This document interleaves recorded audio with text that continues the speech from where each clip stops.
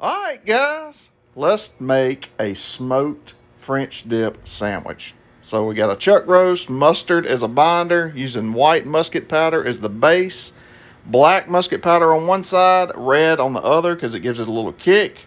I'm using my wireless MEATER probe today to monitor the temp. Camp Chef cranked up on high smoke, 225 degrees. Let's get our Dutch oven, Lipton onion soup mix, packet of ranch seasoning, and beef broth. Once that roast hits an internal 165, we're going to place it in the Dutch oven. We're going to use a whole jar of pepperoncini peppers back on the Camp Chef, 300 degrees until it is fork tender and falling apart.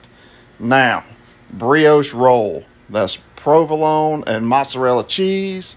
Pile your shredded meat on top, a couple of those peppers, dig into that au jus, and you talking about money. Enjoy, guys.